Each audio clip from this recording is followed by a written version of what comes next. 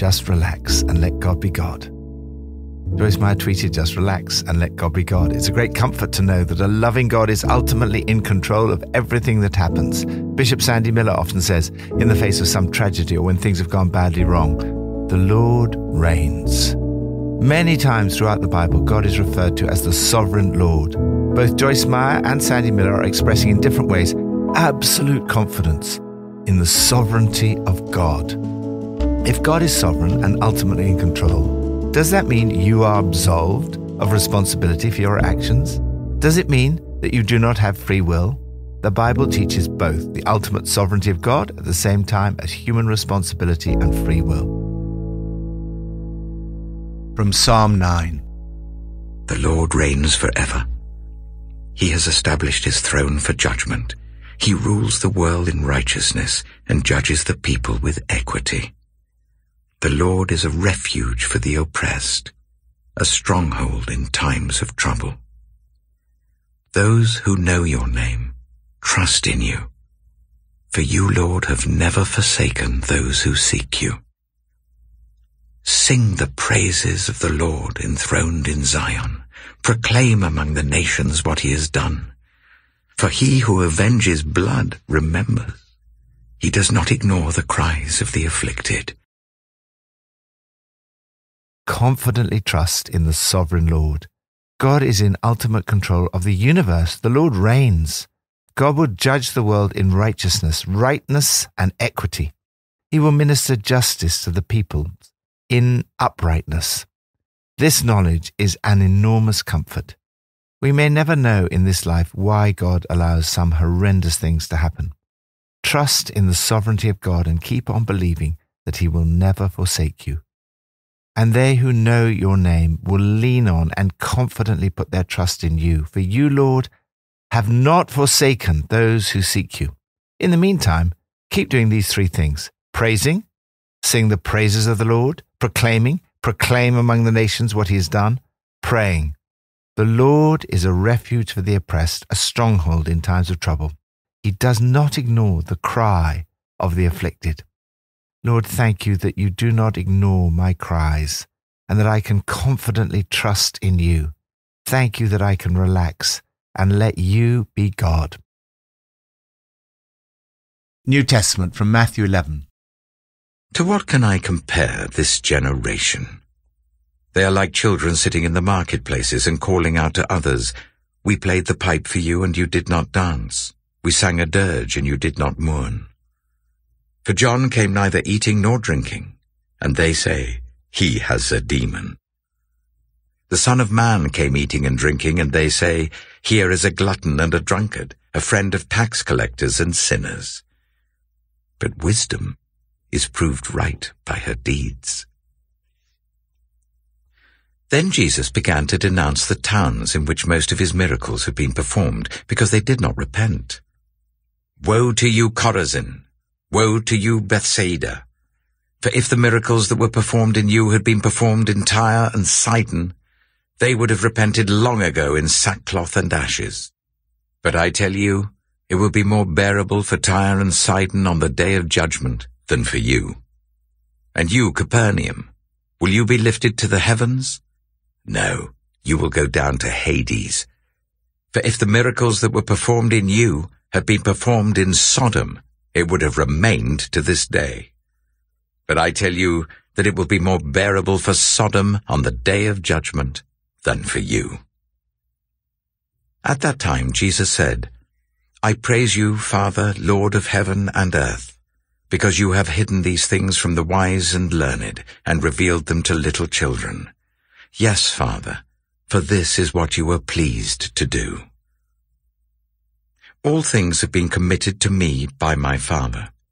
No one knows the Son except the Father, and no one knows the Father except the Son, and those to whom the Son chooses to reveal him. Come to me, all you who are weary and burdened, and I will give you rest. Take my yoke upon you and learn from me, for I am gentle and humble in heart and you will find rest for your souls. For my yoke is easy, and my burden is light. accept the invitation to walk with Jesus. The teaching of Jesus is fascinating. In the first section of today's passage, he seems to be saying you can't win. On the one hand, John the Baptist was an ascetic and was accused of being demon possessed. On the other hand, Jesus went to parties with all kinds of people and made friends with those who were regarded as unsavory characters. He was accused of being a glutton and a drunkard and a friend of tax collectors and sinners. Whatever you do may be misinterpreted, yet Jesus adds, but wisdom is proved right by her actions. I take this to mean that all we can do is the right thing and not worry what anybody else thinks. Opinion polls don't count for much, do they? The proof of the pudding is in the eating. Jesus then denounces the cities that he's visited and performed miracles in where people have neither repented nor believed. He suggests that their sin is worse than the sin of Sodom. The sin of unbelief is perhaps the most serious of all. Jesus goes on to teach in such a way that it's clear that he believed in both predestination, that God has already determined everything that will happen, and free will. He teaches both alongside one another. It's a paradox. The two seemingly contradictory things are both true at the same time. It's not 50% predestination, 50% free will. Jesus says we're 100% predestined and we have 100% free will. This may seem impossible, but God is able to transcend and not distort human freedom. We ultimately see this in the incarnation. Jesus is 100% God and 100% human. He is fully God and fully human. Predestination. All things have been committed to me by my Father. No one knows the Son except the Father, and no one knows the Father except the Son, and those to whom the Son chooses to reveal him. Why God chooses to reveal himself to some and not to others is a mystery, certainly not based on wisdom and learning. Sometimes the great intellectuals simply cannot see it. You've hidden these things from the wise and learned. And yet sometimes people of little or no education, or those who are very young, little children, seem to have a very profound understanding of Jesus. You've concealed your way from sophisticates and know it alls and spelled them out clearly to ordinary people. Free will. Jesus says, Come to me, all you who are weary and burdened, and I will give you rest. The invitation to come to Jesus is for everyone. No one is excluded. We are all invited. We all have a choice whether to accept the invitation of Jesus or to refuse it. I find it difficult to get my mind around this paradox. However, I found the following illustration helpful. Imagine a room with an arched doorway. The outside of the arch is inscribed with the words, Come to me, all you. Everyone is invited into the room. But when you get into the room, on the inside of the same arch is written, No one knows the Father except the Son, and those to whom the Son chooses to reveal him. In other words, free will is a doctrine for everyone. No one can say, I'm not going to become a Christian because I've not been chosen. The invitation is to all. On the other hand, predestination is a doctrine of assurance for those who are Christians. Once you've accepted the invitation and entered, you can know that God has chosen you, and therefore He will not let you go. I love the fact that in a stressful world, where so many are weary and burdened, Jesus promises you rest. He offers to take your burdens and place them with His own. The yoke, something that Jesus would have made in the carpenter's shop, was a wooden frame joining two animals, usually oxen, at the neck, enabling them to pull a plough or wagon together. The function of the yoke is to make burdens easier to carry. I love the image of walking in step with Jesus, sharing our burdens, making the trials to be endured and the battles to be faced easy and light by comparison. Jesus is not a slave driver. When you pursue his agenda for your life, you carry a burden, but it's not harsh, hard, sharp, or pressing, but comfortable, gracious, and pleasant. When you do what Jesus asks you to do, he gives you the strength and wisdom to do it, and you carry his burden with him. There will, of course, be many challenges and difficulties, but there will also be a lightness and ease. Jesus says to you, Are you tired, worn out, burned out on religion? Come to me. Get away with me, and you'll recover your life. I'll show you how to take a real rest. Walk with me and work with me. Watch how I do it learn the unforced rhythms of grace. I won't lay anything heavy or ill fitting on you.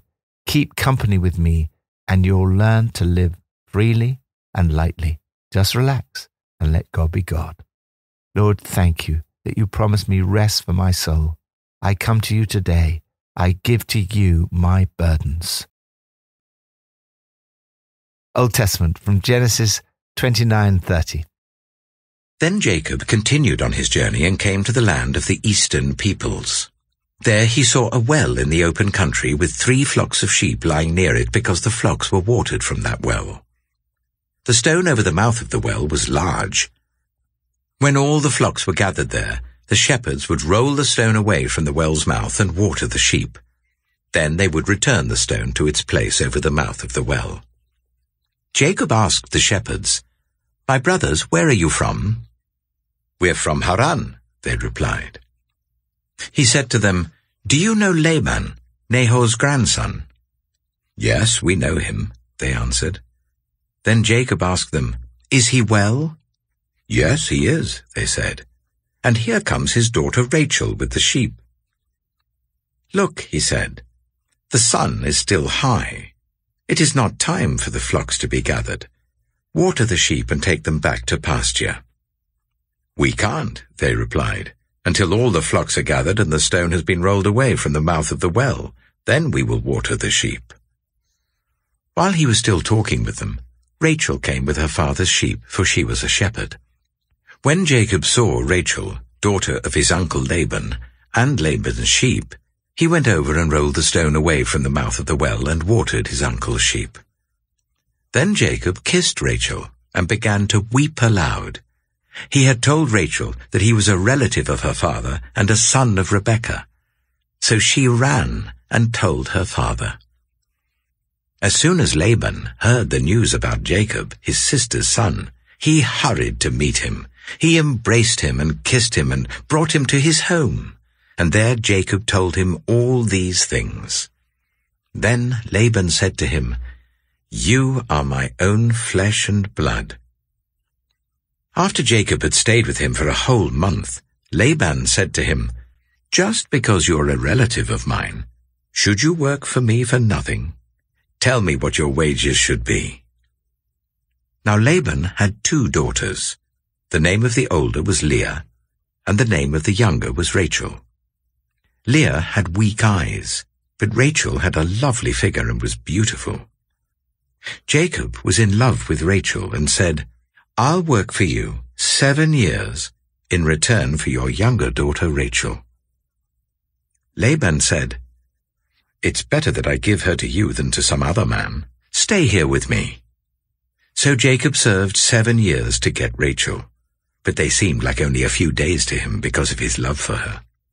Then Jacob said to Laban, Give me my wife. My time is completed, and I want to make love to her. So Laban brought together all the people of the place and gave a feast. But when evening came, he took his daughter Leah and brought her to Jacob, and Jacob made love to her. And Laban gave his servant Zilpah to his daughter as her attendant. When morning came, there was Leah.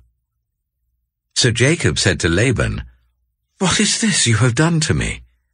I served you for Rachel, didn't I? Why have you deceived me?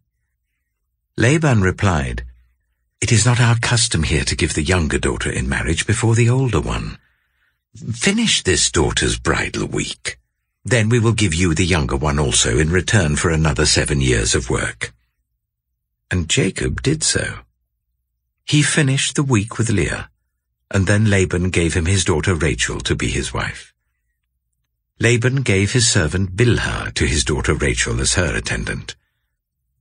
Jacob made love to Rachel also and his love for Rachel was greater than his love for Leah, and he worked for Laban another seven years.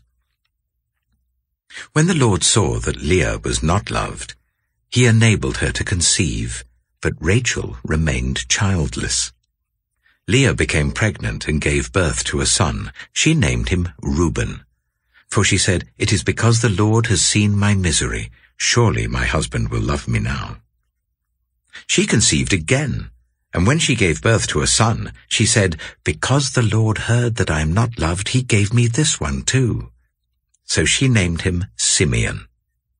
Again she conceived, And when she gave birth to a son, she said, Now at last my husband will become attached to me, because I have borne him three sons. So he was named Levi. She conceived again, and when she gave birth to a son, she said, This time I will praise the Lord. So she named him Judah. Then she stopped having children. Genesis chapter 30 When Rachel saw that she was not bearing Jacob any children, she became jealous of her sister. So she said to Jacob, Give me children or I'll die. Jacob became angry with her and said, Am I in the place of God, who has kept you from having children? Then she said, Here is Bilhah, my servant. Sleep with her, so that she can bear children for me, and I too can build a family through her. So she gave him her servant Bilhah as a wife. Jacob slept with her, and she became pregnant and bore him a son. Then Rachel said, God has vindicated me. He has listened to my plea and given me a son.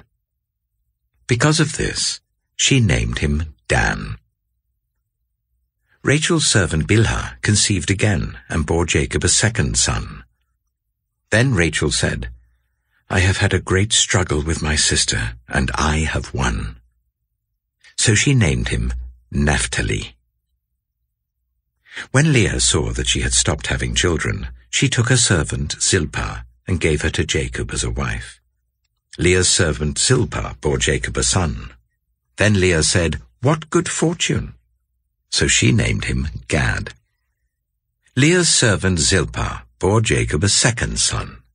Then Leah said, How happy I am! The women will call me happy. So she named him Asher.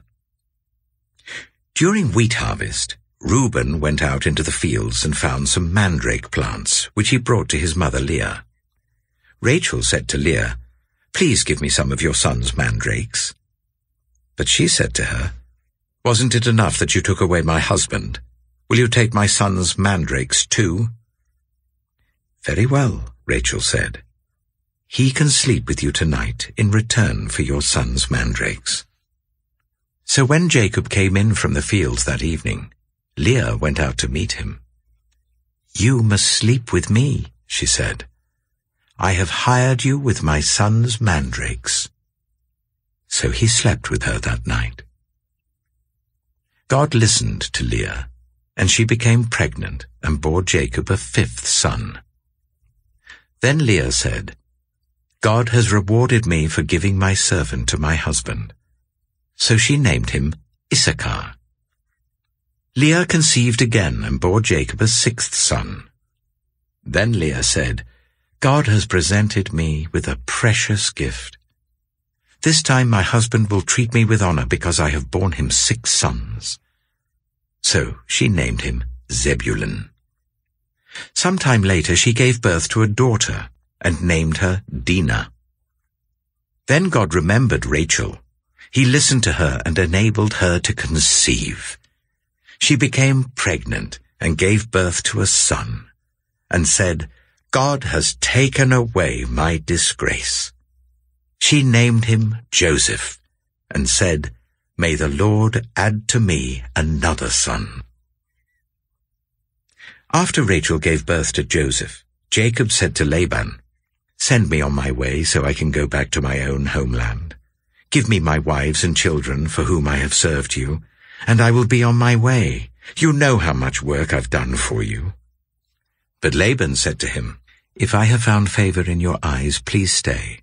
I have learned by divination that the Lord has blessed me because of you. He added, Name your wages, and I will pay them. Jacob said to him, You know how I have worked for you, and how your livestock has fared under my care. The little you had before I came has increased greatly, and the Lord has blessed you wherever I have been. But now, when may I do something for my own household? What shall I give you? he asked. Don't give me anything, Jacob replied. But if you will do this one thing for me, I will go on tending your flocks and watching over them. Let me go through all your flocks today and remove from them every speckled or spotted sheep, every dark-coloured lamb, and every spotted or speckled goat. They will be my wages. And my honesty will testify for me in the future, whenever you check on the wages you have paid me. Any goat in my possession that is not speckled or spotted, or any lamb that is not dark-coloured, will be considered stolen. Agreed, said Laban. Let it be as you have said. That same day he removed all the male goats that were streaked or spotted, and all the speckled or spotted female goats, all that had white on them, and all the dark-coloured lambs, and he placed them in the care of his sons. Then he put a three-day journey between himself and Jacob, while Jacob continued to tend the rest of Laban's flocks. Jacob, however, took fresh-cut branches from poplar, almond, and plane trees, and made white stripes on them by peeling the bark and exposing the white inner wood of the branches. Then he placed the peeled branches in all the watering troughs, so that they would be directly in front of the flocks when they came to drink. When the flocks were in heat and came to drink, they mated in front of the branches, and they bore young that were streaked or speckled or spotted. Jacob set apart the young of the flock by themselves, but made the rest face the streaked and dark-coloured animals that belonged to Laban. Thus he made separate flocks for himself, and did not put them with Laban's animals. Whenever the stronger females were in heat, Jacob would place the branches in the troughs in front of the animals, so that they would mate near the branches. But if the animals were weak, he would not place them there. So the weak animals went to Laban, and the strong ones went to Jacob. In this way the man grew exceedingly prosperous, and came to own large flocks and female and male servants, and camels and donkeys. Watch God work his purposes out. God works his purposes out in spite of our weakness, vulnerability, and sin. Jacob was a deceiver. What we sow, we reap. He sowed deception, and he reaped deception from Laban. He then continued the cycle of deception. This is an extraordinary story of deception, unfaithfulness, and disloyalty. Yet somehow, in all of this, God worked his purposes out for the individuals involved, for Israel, for the birth of his son, Jesus, and for the future of the people of God. A lot of human sin and disappointment was involved in the birth of Jacob's children. Yet through it all, God was working out his purposes for the twelve tribes of Israel. Rachel's prayer was finally answered with the birth of Joseph. As God was in control of their lives, you can trust that he is ultimately in control of yours as well and that in all things God works for the good for those who love him, who've been called according to his purpose. So just relax and let God be God. Lord, thank you that you use even weak, vulnerable, and sinful people like me. Thank you that although you love me as I am, you love me too much to leave me as I am. Help me to take responsibility for my life and at the same time confidently trust in your sovereignty. Pippa adds, I'm really enjoying reading Genesis 29 and 30. The story is much better than watching the latest Netflix drama. What will they do next? It's interesting that Sarah, Rebecca, and Rachel all had difficulty having children. This is not a new problem. When the children eventually arrived, they were very important to God's plan for the people of Israel. Was God waiting for the right time, or was he preparing the parents in some way?